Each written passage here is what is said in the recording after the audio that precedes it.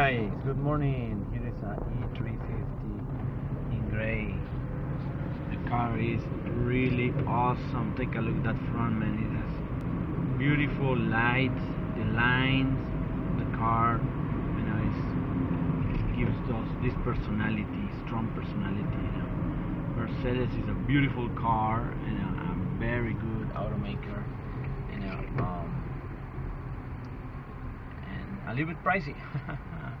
the 350, well, he has a 3.5 liter engine. I hope so. No. You know, I don't know if they have uh, any other magic thing inside, like the compressor has turbo, but this one uh,